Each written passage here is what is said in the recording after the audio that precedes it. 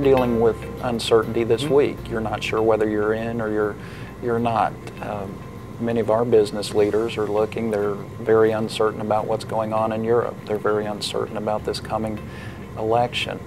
How do you deal with uncertainty?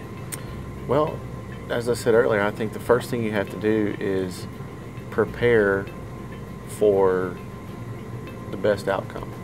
Um, whether it's me getting in the tournament this week, I have to be prepared to play. Um, whether it's winning your first tournament, you have to be prepared to, Yeah. to handle all of that.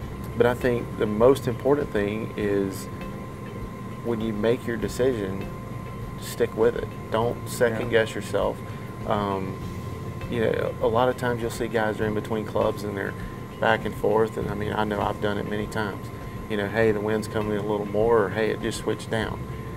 But you have to make your decision and you have to commit to it 100%. You cannot second guess what you're doing.